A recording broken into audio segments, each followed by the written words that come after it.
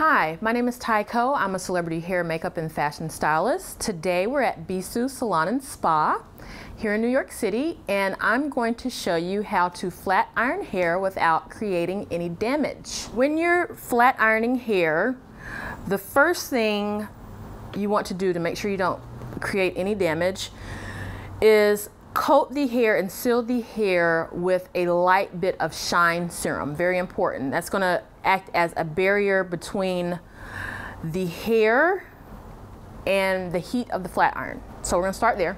So with the serum, you want to just rub it in your hands and start at the ends of the hair first and then work up.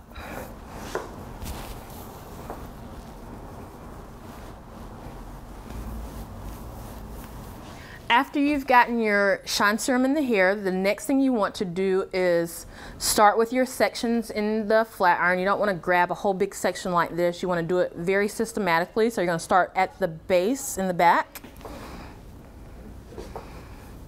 So your section needs to be no bigger than two inches wide.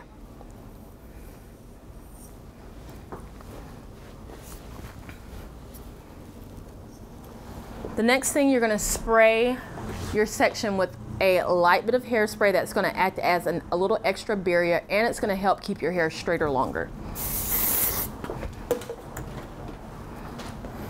When you flat iron, you want to make sure that you're flat ironing in a slow, continuous motion so that you're not holding it, holding it on one section of the hair longer than another section.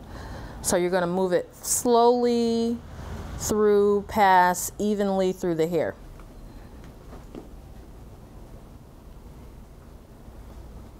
So you're just going to continue through all the, the rest of the hair that way.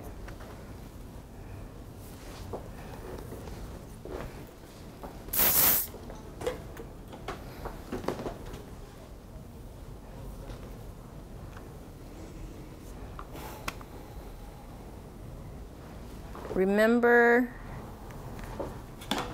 your hairspray lightly and to move smoothly and evenly through the hair.